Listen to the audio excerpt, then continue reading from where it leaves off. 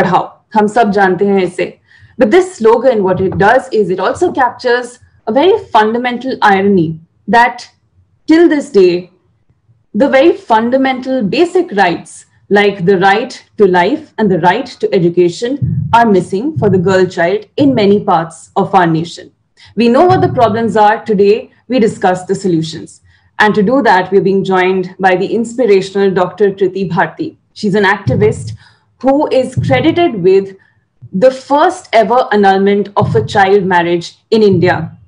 Since then, she has annulled 41 more of such illegal underage marriages. She's rescued and rehabilitated thousands of children and women. Thank you, Dr. Bharti, for joining us. Kama Ganesha Dipavli. Uh, Dr. Bharti, I would like to begin this show by knowing a little more about you because your life is also, it's been tough. It still is tough because of the work you do, but आप जो experiences से गुजरी हैं बचपन में वो भी एक एग्जाम्पल है कि लड़कियों के साथ क्या होता है आप you have been through it and you've emerged stronger. What had happened to you and how did you uh, overcome it? Well, uh, my childhood was bit struggling. Uh, generally, जब uh, कोई activist abuse exploitation के खिलाफ काम शुरू करता है तो वो कॉलेजेस uh, में यूनिवर्सिटीज में अब्यूज एक्सप्लॉयटेशन की डेफिनेशन पढ़ते हैं. बट मैंने अब्यूज एंड एक्सप्लॉयटेशन की डेफिनेशन उस समय पढ़ ली थी जब मुझे अल्फाबेट्स भी नहीं आते थे. My father has abandon me before my birth और उसके बाद कोई नहीं चाहता था कि मेरा जन्म हो। मेरी जो रिलेटिव्स uh, थे वो चाहते थे कि मेरी मदर अबॉर्शन करवा ले एंड दूसरी मैरिज की तरफ़ अपनी नई लाइफ स्टार्ट करें। बट मेरी लाइफ में चाको राखे साइया मार सके ना कोई आपको जगह जगह पे देखने को मिलेगा। क्योंकि अबॉर्शन का जो पीरियड था वो निकल चुका था इस वजह से अबॉर्शन हो नहीं सका तो ईश्वर की इच्छा थी कि मैं इस धरती पर आऊँ और कुछ इस तरह के काम करूँ। इस वजह से जो एक पहला जो संकट मेरी ज़िंदगी पर आया वो टला। उसके बाद मेरी मदर डिस्ट्रेस में चली गई तो मेरा जो जन्म है वो बहुत मुश्किलों से हुआ। मैं एक साथ सतमासी I born seven month born baby बहुत मुश्किलों से जन्म हुआ। पूरा एक फिल्मी सिचुएशन था, या तो माँ को बचाइए या बच्चे को बचाइए। बट एट द एंड वही लाइन जाको राखी साइया मार सके ना कोई, और मेरा जन्म हुआ। जन्मने के बाद भी मुझे किसी ने एक्सेप्ट नहीं किया। सिचुएशंस मेरे लिए बहुत क्रिटिकल थी। आज जहाँ लोग मुझे सुन रहे हैं, एक जमाना था, एक समय था, जब कोई मेरी शक्ल नहीं देखता था। कोई मुझसे बात नहीं करता था, मेरे लिए, मेरे आने पे रास्ता बदल देते थे फ़िज़िकल अब्यूज मारपीट वर्बल अब्यूज गालियाँ फादर को लेके, ये सारी चीज़ें मैंने अपने चाइल्डहुड में देखी है। अब्यूज एक्सप्लोटेशन की डेफिनेशन अच्छी तरह से समझ चुकी थी। At the age of ten I was being poison मुझे जहर दिया गया। और फिर वही, जाको राखे साइया मार सके ना कोई, मैं मरी नहीं। लेकिन उस जहर का असर ऐसा हुआ कि वो मेरे स्पाइनल कॉर्ड में जम गया। और उसके बाद मैं बेड रिडन हो गई। मैं न तो चल सकती थी, न मैं बैठ सकती थी, न ही मैं अपने कुछ भी डेली लिविंग की चीज़ों को कर सकती थी। मैं एक तरह से टोटली डिपेंडेंट हो चुकी थी, मैं पैरालाइज्ड हो चुकी थी। मेरी मदर ने उस समय जितने अवेलेबल ट्रीटमेंट्स हैं इंडिया में, सबको ट्राई किया एलोपैथी आयुर्वेदिक होम्योपैथी इवन झाड़ फूक कि कुछ भी हो, ठीक हो जाए, कैसे भी करके ठीक हो जाए। बट नथिंग वर्कड वर्क तो बहुत दूर की बात है। डायग्नोसिस भी बहुत मुश्किल लग रहा था कि हुआ क्या है आखिर मुझे।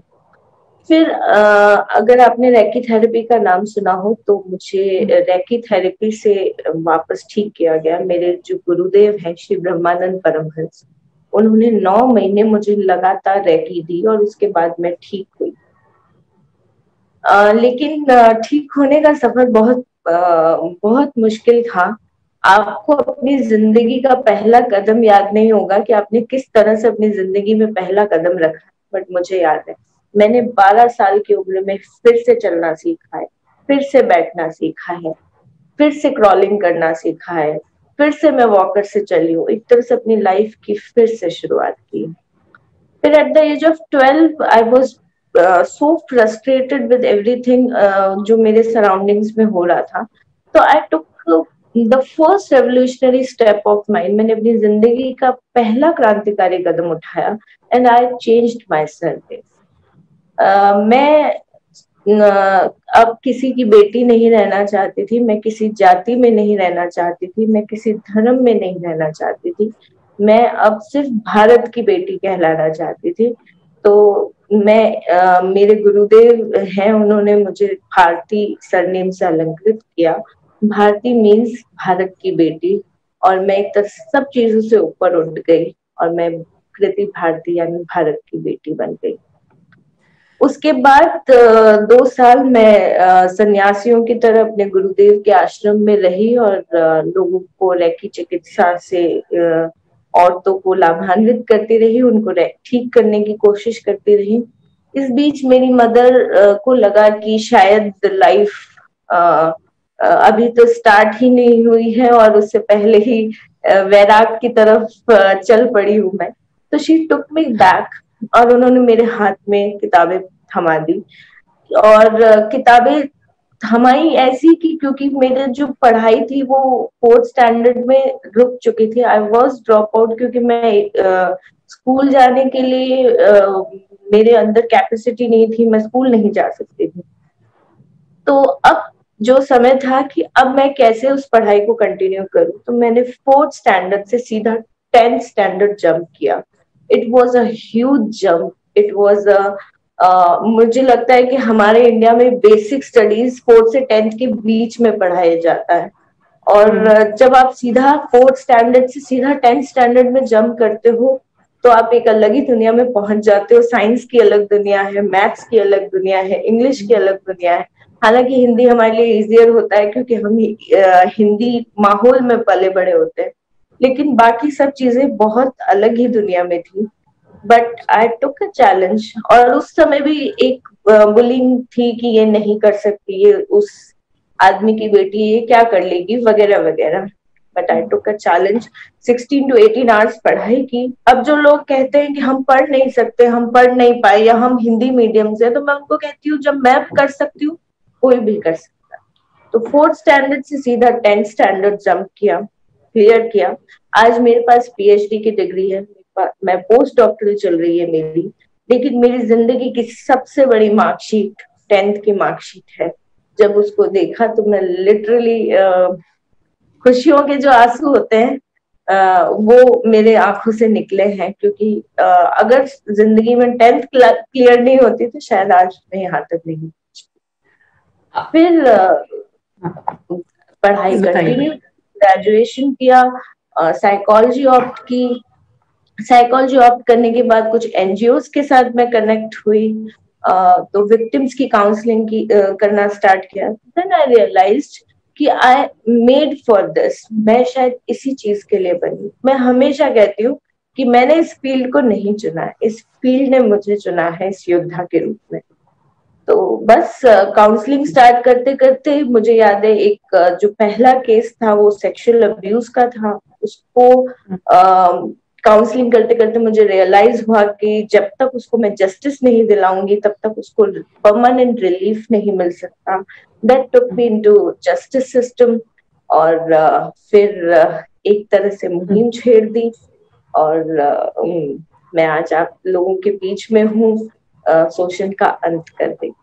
तो Bharti ji the daughter of India आपने एक बहुत ही मुश्किल टास्क ले लिया है वो है आप तो एक तो चाइल्ड मैरिज अनल कर रही हैं इनफैक्ट केसेस भी आप अपने आप ही लड़ती हैं। और आप साथ ही साथ you are also trying to change mind sets ये काम कैसे होता है आपका? देखिए शुरुआत मैं अगर बताऊँ सारथी ट्रस्ट की तो क्यों पहले मैं दूसरी एनजीओ के साथ काम कर रही थी बट देन आई फेल्ट कि वो लोग रूट लेवल पे काम नहीं कर रहे हैं। तो 2011-12 के सेशन में 11-12 के सेशन में मैंने साथी ट्रस्ट की नींव रखी क्योंकि मैं बहुत छोटी एज में इस फ़ील्ड में आ गई थी। तो मुझे ये था कि मैं अगर इस फ़ील्ड में आई हूँ तो चेंजेस होने चाहिए। मैं हम्म। सिर्फ़ दिखावा बाजी के लिए यहाँ नहीं रहूँ। तो उस चेंजेस के लिए सारथी ट्रस्ट की नींव रखी गई। शुरुआत में बहुत समस्याएँ आई। जब पहला बाल विवाह निरस्त का मामला था तो मेरे ऊपर मुझे लो, लोगों ने बहुत हँसी ठिठोली भी की थी कि ये क्या बातें कर रही हो कौन सी हवाई बातें चल रही हैं। और क्योंकि मैं एज में बहुत छोटी थी 2012 की बात है तो आज से पूरा नौ साल पहले का सफ़र है तो मैं और छोटी दिखती थी। तो एक वो होता है कि ये अलग ही कहाँ से आ गई है आ, सोशल एक्टिविस्ट मतलब सफ़ेद बाल वाले सफ़ेद साड़ी वाले एंड वो हमारे माइंड में एक सेटअप बन चुका है। और आप अगर कोई चीज़ को चेंज करना चाहते हैं तो आपको एज में होना ज़रूरी है। उससे पहले आप बदलाव की बात नहीं कर सकते। बट मैंने कहा, नहीं, मैं बदलाव करूँगी और अभी से करूँगी जब पहले बाल विवाह निरस्त की बात आई पहले केस की तो मुझे जब पहला केस आया तो मुझे लगा कि क्यों नहीं हम इसका बाल विवाह ही कैंसिल कराएँ। जब हमें पता है कि बाल विवाह बुरा है, जब हमें पता है कि बाल विवाह बच्चे का पूरा चाइल्ड राइट्स एक्सप्लोइटेशन कर रहा है वॉयलेशन हो रहा है चाइल्ड राइट्स का, उसको अब्यूज एक्सप्लोइटेशन में धकेल रहे हैं। और मुझे पता है कि अभी अगर हम नहीं निकाल हमने नहीं निकाला बच्चों को तो हम कभी नहीं निकाल पाएँगे। तो इसी सोच के चलते देश के पहला बाल विवाह निरस्त की नींव रखी गई।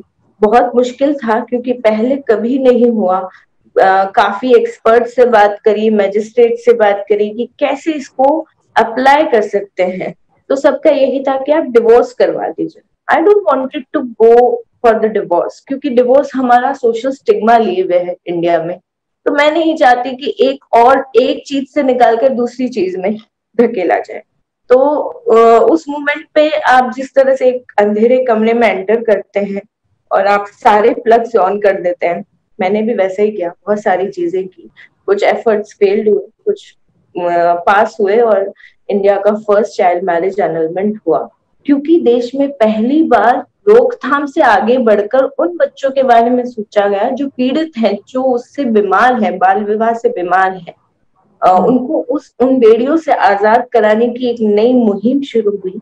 तो उसको लिम्का बुक ऑफ़ रिकॉर्ड्स में दर्ज किया गया वर्ल्ड रिकॉर्ड्स में दर्ज किया गया। सीबीएसई बोर्ड ने भी अपने करिकुलम में इंक्लूड किया। और अभी इंडिया में हम ही हैं जो पूरे देश में बाल विवाह कैंसिल अनलमेंट निरस्त शून्यकरण आप कोई भी शब्द यूज़ कर सकते हैं वो करवा रहे हैं। यहाँ अच्छी बात यह है कि राजस्थान जहाँ बदनाम है पूरे देश ही नहीं विश्व में कि यहाँ सबसे ज़्यादा बाल विवाह होते हैं वो पहला प्रदेश बना जहाँ देश का पहला बाल विवाह निरस्त हुआ और वो पहल आज भी लीडिंग स्टेट है।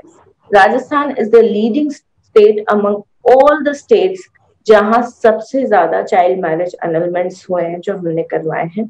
और अभी हमारी कोशिश यही है मे, मेरा हमेशा से यही सपना रहा है कि बाल विवाह केवल किताबों में दिखे फिजिकली न बाल विवाह होते हुए दिखे और न ही कोई आपको बाल विवाह का विक्टिम दिखे तब आप एक तरह से बाल विवाह मुक्त की जो मुक्त का जो स्वप्न है उसको देख साकार कर पाएँगे। मैम मेरा दूसरा अलग अगला सवाल थोड़ा एकेडमिक है। तो what are the key reasons कि गर्ल चाइल्ड ही ज़्यादा एक्सप्लॉइट होती है और इसको कैसे हम खत्म कर सकते हैं?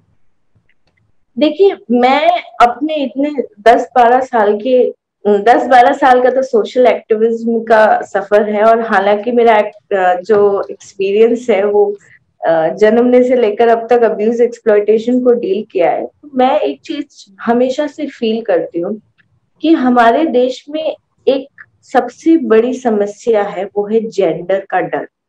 एक बच्ची जब जब जन्म लेती है तो उसके साथ, वो अकेली जन्म नहीं लेती, उसके साथ जन्म ले लेता है जेंडर का डर। वो जैसे जैसे बड़ी होती है वो जेंडर का डर बढ़ता जाता है। आप देखिए मान के चलिए आप भी फीमेल है मैं भी फीमेल हूँ हमारे लिए सबसे पहली चीज़ हमें ये सिखाई जाती है आप ये कर सकते हैं आप ये नहीं कर सकते। आप ये इसलिए नहीं कर सकते क्योंकि आप सुरक्षित नहीं है। आप घर हम्म। पे आ जाइए क्योंकि आप सुरक्षित नहीं टाइमली घर पे पहुंचिए क्योंकि आप सुरक्षित नहीं है। आप कि बहुत सारे ऐसी एक्टिविटीज़ सिर्फ़ और सिर्फ़ सुरक्षा के नाम पे बाँध दी जाती है वो जेंडर के डर में आपको एक तरह से घोट दिया जाता है और hmm. सिर्फ़ यहाँ तक ही नहीं हम डिस्क्रिमिनेशन भी देखते हैं जेंडर डिस्क्रिमिनेशन सारा ये जो अब्यूज और एक्सप्लोइटेशन हम देख रहे हैं वो जेंडर के डर में निकलता है कभी हम इसको बाल विवाह के रूप में देखते हैं कभी हम इसको डोमेस्टिक वायलेंस के रूप में देखते हैं, कभी हम सेक्सुअल ऑफेंस के रूप में देखते हैं, कभी दहेज प्रथा से जलने के रूप में देखते हैं। ये शुरुआत जो है, ये जेंडर के डर से शुरू होती है और वो अलग अलग ब्रांचेस इनकी निकलती है अलग अलग शाखाएँ निकलती हैं एक्सप्लॉयटेशन की और अब्यूज की और उसमें हम बेटियाँ जकड़ी हुई रहती हैं। मुझे ऐसा लगता है कि जब तक ये जेंडर का डर रहेगा, तब तक हम सही मायने में अब्यूज और एक्सप्लॉयटेशन से मुक्त नहीं हो सकते अब्यूज और एक्सप्लॉयटेशन से मुक्त होने के लिए सिर्फ़ और जेंडर के डर के साथ हमें एक चीज़ और सिखाई जाती है फीमेल्स जब से बच्चियाँ जन्म लेती हैं तब से एक चीज़ सिखाई जाती है एडजस्टमेंट हम्म। करो एडजस्टमेंट करो एडजस्ट हम्म। कीजिए कोई छेड़ रहा है एडजस्ट करो इग्नोर करो हम्म। ससुराल में प्रॉब्लम है एडजस्ट करिए ऑफ़िस में प्रॉब्लम है एडजस्ट करिए। हम ये नहीं सिखाते कि हमें कहाँ एडजस्ट करना है और कहाँ अपनी वॉइस रेस करनी। हम वहाँ एडजस्ट करते हैं जहाँ हमको वॉइस रेस करनी चाहिए। Exactly excuse me it's fine take your time हम वहाँ एडजस्ट करते हैं जहाँ hmm. हमें अपनी वॉइस रेस करनी चाहिए। और हम वहाँ वॉइस रेस करते हैं, जहाँ हमें एडजस्ट करना चाहिए। तो ये जो अपब्रिंगिंग के दौरान हम सिखा रहे हैं बच्चों को, यही सबसे बड़ी प्रॉब्लम है कि हमें ये सिखाना चाहिए एडजस्टमेंट कहाँ करना है और रेजिंग ऑफ़ वॉइस कहाँ करना है, तभी हम एक तरह से जेंडर के डर को खत्म कर पाएँगे। जी।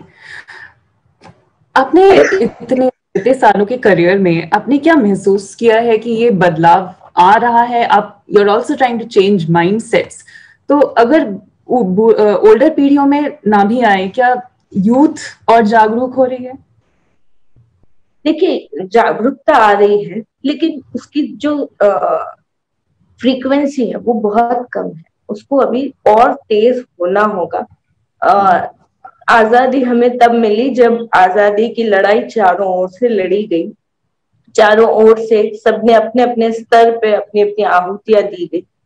आहुति अभी कम है प्रयास अभी कम है। और आ, समस्या ये है कि हमें पढ़े लिखे गंवार ज़्यादा मिलते हैं। अनपढ़ों के साथ तो हमें समझ में आता है कि उनके साथ तो डील हम्म। करना ही है।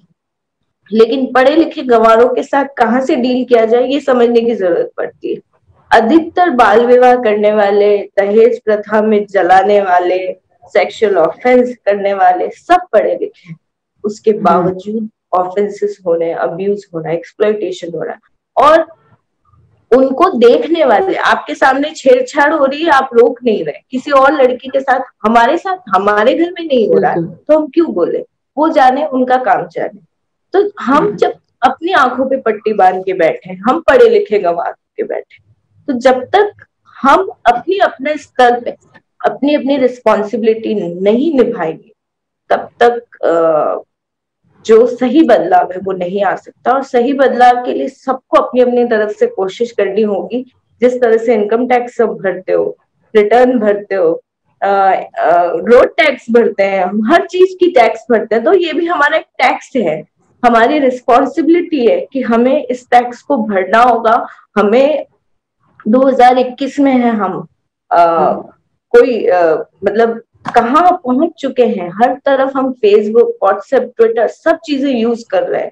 लेकिन उसके बावजूद जब बेटियों की बात आती है जब अब्यूज एंड एक्सप्लॉयटेशन की बात आती है तो हम आज भी वही हैं।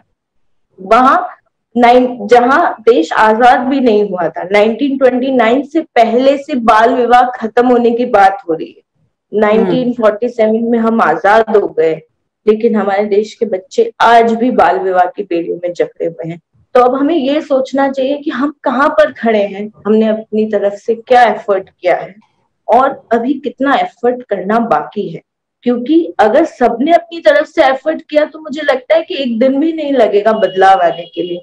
लेकिन जब तक आहुति सबकी तरफ़ से नहीं लगेगी, समय लगेगा। आप आहुति की बात कर रहे हैं मैम आपको भी बहुत सारी थ्रेट्स मिलती है डेथ थ्रेट्स मिलती हैं रेप थ्रेट्स मिलती हैं। How do you how do you I mean how do you manage well actually मैं इस फ़ील्ड में जो मेरा एक्सपीरियंस है, उसके लिए मैं यही मानती हूँ कि मेरा जो बचपन रहा, वो बहुत स्ट्रगलिंग रहा। मुझे मज़बूत बनाया गया। तो उस दौरान एक्चुअली भगवान ने इसीलिए ये सब चीज़ें रची रची कि ताकि मैं मज़बूत हो जाऊँ, इन लोगों के साथ काम कर सकूँ, इन लोगों के खिलाफ, इन लोगों के नहीं सॉरी मुद्दों के खिलाफ काम कर सकूँ। तो वो मजबूती मेरे बचपन से आती है। और रही बात जान से मारने की, धमकी की तो जान से मार, मैं दस साल की उम्र में पॉइजन वाला मैं लोगों को कहती हूँ हम मौत को इतने करीब से मैंने दस साल की उम्र में देखा हुआ है। जब बच्चे दूसरी चीज़ों से गुड्डे गुडियों से खेलते हैं मैंने जहर के साथ खेला है उसके साथ संघर्ष किया है तो मैं उस मुझे मौत का डर इसलिए नहीं लगता। दूसरी बात क्योंकि आप फीमेल हो तो सबसे इजी थ्रेटनिंग रेप थ्रेटनिंग है। लोग सोचते हैं कि rape threatening is the easiest threatening for the female but मुझे ऐसा लगता है कि चाहे जान से मारना हो चाहे कोई और किसी भी तरह की धमकी हो। मेरा जब तक उद्देश्य पूरा नहीं होगा आ, मैं यहाँ से जाने नहीं वाली। लेकिन आ, हो सकता है कि आ, किसी दिन आ, वो आ, सामने वाला मुझ पर अटैक करे और वो सफल भी हो जाए। लेकिन फिर भी वो जब तक मुझे मारेंगे वो सिर्फ़ एक बार मार सकते हैं दूसरी बार मारने की उनमें ताकत नहीं है। एक बार ही किसी इंसान को मारा जा सकता है और सभी को मरना है, अमर होके कोई नहीं आया, सभी को कोई, किसी ना किसी दिन जाना है। तो वो जब तक मुझे मारेंगे, तब तक मैं दस को बचा जाऊँगी। तो नंबर तो मेरा ही ज़्यादा रहेगा, वो, उनका नंबर कम ही रहेगा। Hats off to you ma'am अभी फ़िलहाल ही मध्य प्रदेश में मुख्यमंत्री ने कहा कि मैनेजेबल एज ऑफ़ गर्ल्स को बढ़ाना चाहिए 21 साल करना चाहिए अठारह से। ये बात बार बार छेड़ी जाती है। um, क्या आपको लगता है कि कानून को बदलने से कोई फ़ायदा होगा? क्या आपको लगता है कि अथॉरिटीज ऐसे ट्रेडिशंस के सामने भी हार जाती है इम्प्लीमेंट नहीं कर पाती? देखिए दो बात है। पहली बात तो अगर एज बढ़ती है तो उससे दो चीज़ें आपकी प्रभावित होंगी। एक तो जेंडर डिस्क्रिमिनेशन कि अगर हम बात दो चीज़ें बात कर सकते हैं एक तो जेंडर डिस्क्रिमिनेशन एक प्रिवेंशन ऑफ़ चाइल्ड मैरिज अगर जेंडर डिस्क्रिमिनेशन की बात करें तो यस इट विल वर्क जितना आदमियों को, लड़कों को मौका मिलता है अपॉर्चुनिटीज़ मिलती हैं, उतनी लड़कियों को भी मिलेंगी। एटीन के बाद फैमिली सोचने लगती है कि शादी कर दीजिए। लड़के के पास तीन साल एक्स्ट्रा होते हैं कि वो एजुकेशन परस्यू कर सके। करियर की तरफ़ बढ़ सके। तो yes it will definitely address gender discrimination but मेरा मानना है कि जो जेंडर डिस्क्रिमिनेशन की हम बात कर रहे हैं, वो सिर्फ़ शहरों तक सीमित है। वो सिर्फ़ हायर क्लास या मिडिल क्लास तक सीमित है। जब हम लोअर क्लास की बात कर रहे हैं, जब हम विलेजेस की बात कर रहे हैं, वहाँ पर किसी भी तरह से जेंडर होता ही नहीं। वहाँ सिर्फ़ एक जेंडर होता है, वो होता है पुरुष का जेंडर फीमेल का तो जेंडर होता ही नहीं। तो जब जेंडर ही नहीं है तो जेंडर डिस्क्रिमिनेशन कैसे होगा? तो अभी तो हमें वहाँ पे जेंडर क्रिएट करना है कि एक और प्रजाति है, महिला प्रजाति है। तो अभी तो वहाँ हम उस स्टेज में भी नहीं पहुँचे हैं। तो जेंडर डिस्क्रिमिनेशन सिर्फ़ मिडिल क्लास तक सीमित है।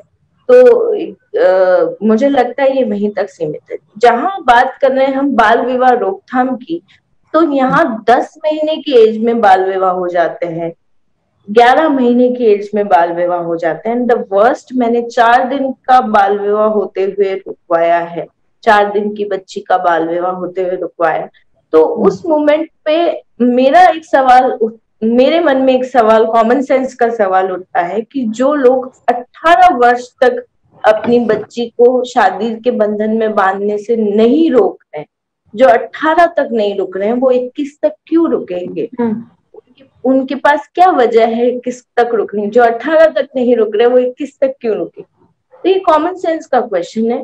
प्रिवेंशन इससे हो नहीं सकता इससे दूसरी चीज़ें और बढ़ेंगी सेक्सुअल ऑफेंसेस बढ़ेंगे दूसरी चीज़ें बढ़ेंगी, क्योंकि हमारा अभी तक भी डायरेक्शन गलत था और अब अगर इस तरह की चीज़ें करेंगे तो ये भी डायरेक्शन सही डायरेक्शन नहीं है।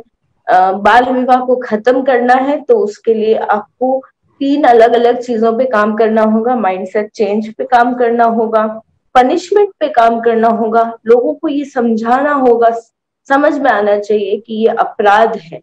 ये सिर्फ़ एक कुप्रथा तक सीमित नहीं है, बाल विवाह अपराध है। और तीसरा, इसमें बाल विवाह शून्यकरण करवाना होगा, यानी निरस्त कैंसिलेशन अनलमेंट जिसको हम कहते हैं, वो करवाना होगा। क्योंकि जैसे अभी कोरोना चल रहा है, हम कब मानेंगे कि कोरोना खत्म हो गया? हम तब मानेंगे जब हमारे देश में एक भी कोरोना का मरीज़ नहीं होगा। मेरे लिए बाल विवाह एक बीमारी से कम नहीं है। तो जिस दिन, जिस समय पूरे देश में एक भी बाल विवाह पीड़ित नहीं दिखाई देगा उस दिन हम ये मान सकते हैं कि हमारे देश से बाल विवाह जड़ से खत्म हो गया। और वो तभी संभव है कि जितने बाल विवाह से बीमार बच्चे हैं, जितने बाल विवाह से शोषित बच्चे हैं, उनका बाल विवाह निरस्त यानी अनलमेंट हो, उन्हें बाल विवाह की बेड़ियों से आज़ादी मिले। मैम, आपके इस काम में, अनलमेंट के काम में स्पेशली क्या सरकार या एडमिनिस्ट्रेशन मदद करती है? या बाधाएँ आती हैं कहीं से? देखिए, कानून बन जाता है, लेकिन कानून का इम्प्लीमेंटेशन जिस तरीके से होना चाहिए, वो आज तक नहीं हुआ।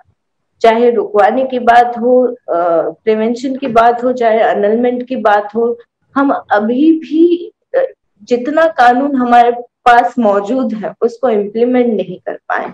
और उसके बाद होता क्या है कि जो लोग वहाँ पर मौजूद हैं जो ऑफिसर्स हैं चाहे वो पुलिस ऑफिसर्स हैं चाहे वो एडमिनिस्ट्रेशन में वो वहीं से उठ उसी समाज से उठ के आए हैं हम्म। जो चाइल्ड मैरिजेस करते हैं या उ, उसी समाज के एक तरह से पार्ट रहे हैं।